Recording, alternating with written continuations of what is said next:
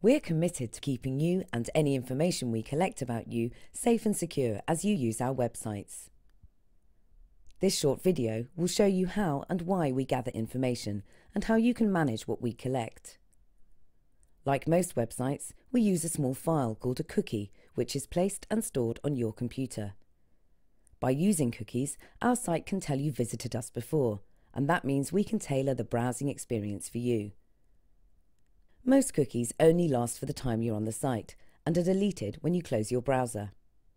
Some other cookies last longer and help when you return to the site.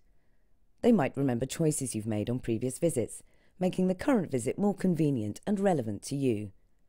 Like meeting a friend and picking up a conversation from where you left off, rather than having to reintroduce yourselves each time. Any cookie information collected by us or any of our third-party partners is completely anonymous. It doesn't contain your name, any contact details, or any information about your bank account. We recommend that you accept cookies on your browser, but if you want to restrict or block cookies from any site, including Bank of Scotland, you'll need to do this for each browser that you use. Please remember, though, that without cookies, you won't be able to log into Bank of Scotland Internet Banking to manage your accounts with us online.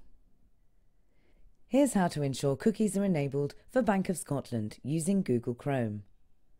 On the Bank of Scotland Internet Banking login page, Look into the right-hand corner of the browser to see if there's a cookie icon.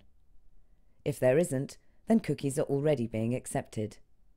If there is an icon, click on it and check Always allow Bank of Scotland to set cookies. Remember, cookies are files containing small amounts of information that we use to help your experience as you visit Bank of Scotland sites.